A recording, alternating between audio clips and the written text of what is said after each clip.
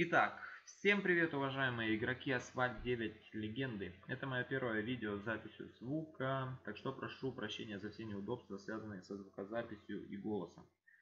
Итак, приступим. В этом видео я поделюсь с вами лайфхаком, как легко, быстро и просто настроить любой контроллер, как известных брендов, так и no-name, для того, чтобы играть в Asphalt 9. Честно скажу, я не пробовал подключать контроллер от Xbox или от PS, так как у меня их банально нет. Э, скорее всего, они будут отображаться в настройках игры корректно и без лишних танцев с бубном, но это лишь мои догадки.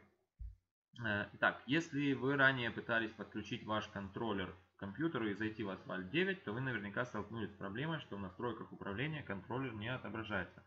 Э, например, вот так, как у меня. Проверяем сейчас настройки. Game Settings, Controls.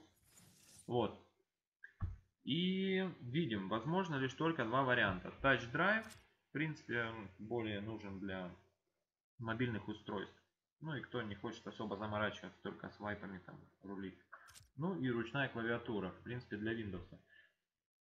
Э, что мы можем сделать? Как это можно исправить?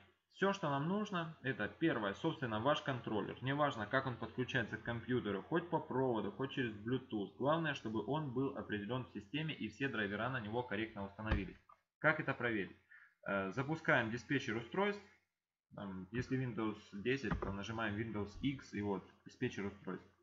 Открывается он. Проверяем в Bluetooth устройствах, например, у меня он в Bluetooth. Э, потом э, Human Interface Devices, я не знаю, как на русском языке оно будет.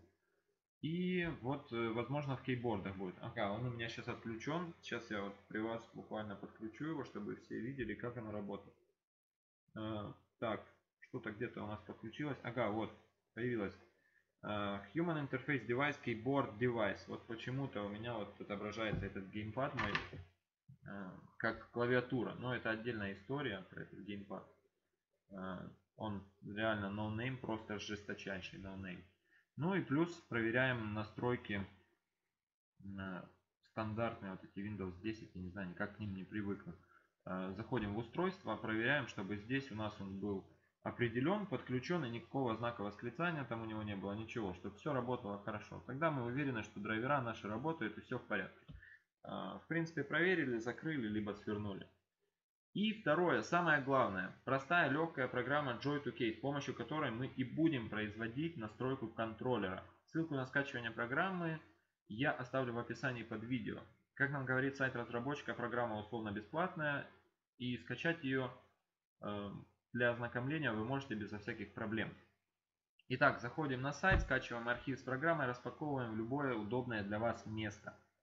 Э, так, заходим на сайт, Выбираем любой из зеркал, неважно какое, я выбираю самое первое, прямо с их сайта.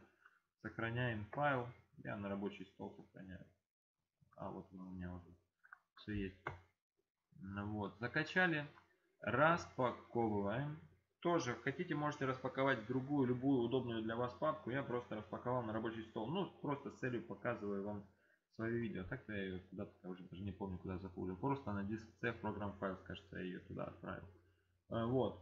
Заходим в папку э, в распакованную и запускаем, собственно, программу Joy2K exe. Если у вас есть э, расширение файлов, то оно будет exe. Если нет, то она просто называется Joy2K. Здесь 4 файла, ошибиться просто нереально. Запускаем Joy2K, соглашаемся с условиями, да, все хорошо. Что мы видим? Видим программу из двух, так сказать, частей. Первая часть это профили, профили ваших геймпадов, грубо говоря. И вторая часть э, настройки этих геймпадов. Джойстик 1, джойстик 2, опции. Э, нам нужна только э, вкладка джойстик 1. В принципе, если у вас два джойстика, ну это, наверное, для каких-то там бродилок или Mortal Kombat, я не знаю для чего. Нам нужна вкладка джойстик 1. Вот. Берем, например, либо профиль 1, либо переименовываем его под себя, как хотим. Там, например, как называется мой геймпад. VZ, геймпад, геймпад, BT, Bluetooth, потому что тут у меня еще есть какая-то э, Wi-Fi донгл есть, но я через него не подключаю, я подключаю просто по стандарту через Bluetooth. Вот, нажал профиль, создал, все, забыли, выбрали профиль. переключаемся в правую половину. Вот она у нас самая основная. Давайте ее расширим на всю высоту дисплея, чтобы было видно, сколько здесь кнопок. В принципе, она поддерживает 32 кнопки. Не представляю, что это за геймпад должен быть на 32 кнопки. Блин, куда они там могут даже поместиться. Но, в принципе, программа это все предусматривает. Э, вот. И, собственно, здесь мы будем производить все настройки. Э, если вкратце охарактеризовать, то есть описать работу этой программы, то она эмулирует нажатие клавиатуры с помощью подключенного контроллера к компьютеру. Э, как вы заметили, здесь есть название колонок. Вот, колонка button, соответственно, по-русски кнопка. Колонка функция, function ну, авто и коммент нам она не нужна. Ну, хотите комменты можно тоже заполнять. Ну, это бред. Вот, нам нужны только первых две, button и function. Соответственно, кнопка, э, колонка button это отображение функций самого геймпада. Э, вот. Если вы понажимаете кнопки на вашем контроллере, то в окне программы видим подсветку нажатия соответствующей клавиши контроллера желтым цветом. Э, вот я, например, нажимаю X. X. У меня button 4. Нажимаем Y. Button 5. B нажимаю. Button 2, A, button 1. Вот, так само э, вот эти point of view head, ну и стики. Первый стик, второй стик, там так далее. Э, что хочешь, можно в принципе настроить. Давайте триггеры проверим. Триггеры тоже все работают. Что еще здесь можно проверить? Так хватит, для асфальта нужно три кнопки всего, не четыре. Вот.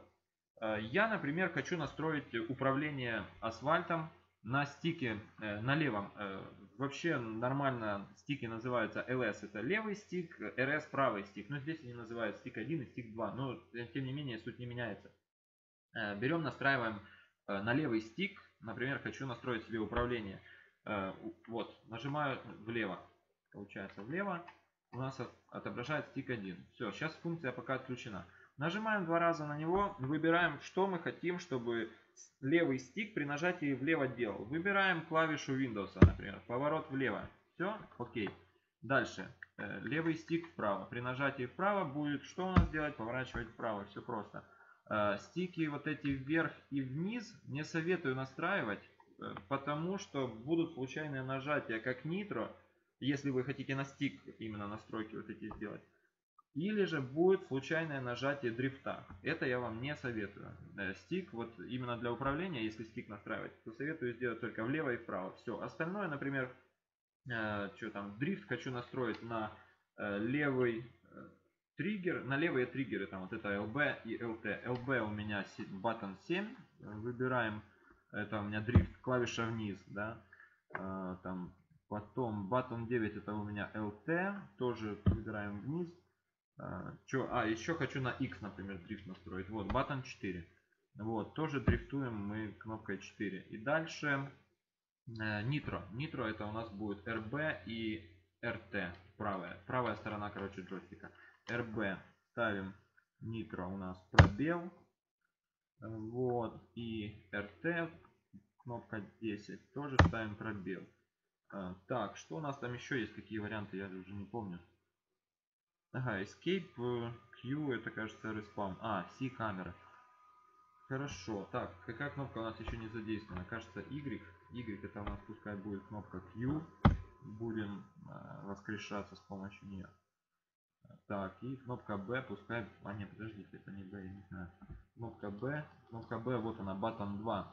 А это будет камера, кнопка C. Все, собственно, на этом вся настройка геймпада закончена. Э, чтобы закрепить успех, просто берем, сохраняем это все дело. Э, у вас файл конфигурации будет сразу вот создан э, в самой папке. В принципе. И на этом все. Далее просто сворачиваем программу, запускаем игру и вперед покорять вершины Asphalt 9 на вашем контроллере. Ну а на этом все. Если вам понравилось это видео, поставьте лайк, поделитесь со своим товарищем, другом, оставляйте комментарии и вопросы. Всем успехов и пока!